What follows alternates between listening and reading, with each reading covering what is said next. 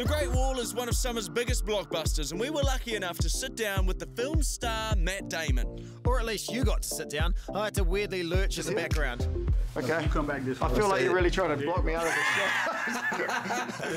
Just a little bit further to the right. Okay. I really feel like I'm tacked on to the end of this. Now you literally look like Siamese twins. Was it stuck on you? Stuck it on was stuck you. on you. You did that movie. this is stuck on you too. Look at us. It's, just, it's not an interview, it's actually a pitch for you, Mo. hey, congratulations on The Great Wall. Epic movie. Thank you, thank you. This is the first war I've seen. Worth fighting. First question Do you know the Wi Fi password?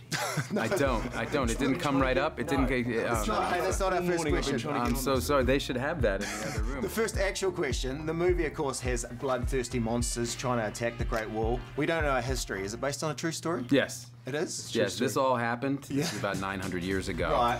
There was a wave of monsters that Gotcha. attacked the Great Wall. Yeah. And a mysterious Chinese army defended the wall with the help of a, uh, A handsome mercenary. yeah, who was who was there to steal gunpowder, but uh, had a change of heart. That's a hell of a story.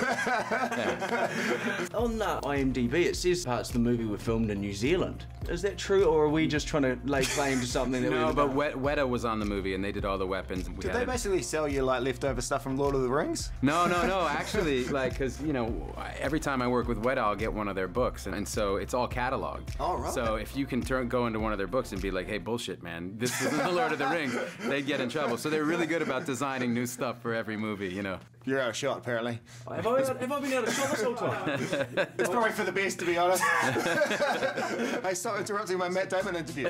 Now, in New Zealand, we don't have great walls, but we have a lot of great fences. We thought we could make a movie about a great fence. They're fantastic. Our favourite fence is this one, which is a, a bra fence. Oh, fantastic. You think alien monsters would like to attack that? yeah, I mean, I think a lot of people would like to attack that. Mainly people who don't have bras. Need bras. Uh, you spent a lot of time in China for this movie. Did you pick up any uh, Mandarin? Can you teach us something? I didn't. I mean, I know how to say thank you, which is xie xie, and ni hao is hello. That's about You as didn't far learn as I got. crap all. No, I was. I'd say I'd say hello to the director in the morning. We'd work through a translator, and at the end of the day, I would thank him. Yeah, and go home. Yeah, hey, uh, you've got a best friend called Ben. I do. I've got a best friend called Ben. Fantastic. Want to play a game? I'll tell you something awful about him, and then you tell me something awful about your Ben. All right, fantastic. He went to a school ball wearing a Looney Tunes suit of all the cartoon characters made out of bed sheets. Wow. It wasn't a cool look. What, what Um, about your so Ben? Ben used to have uh, gaps in his teeth. Yeah.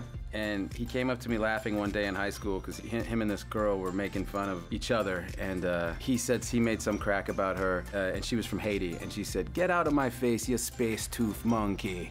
And like so, since then we've called him the space tooth monkey. Space Monkey, Yeah. So he was about 14 then. Oh, we've been told to wrap up, and I got to wrap up. I'm cramping up too. Matt Damon, you're a bloody legend. Cheers, cheers, guys. Cheers, guys. Yeah, yeah. Thanks, Ben.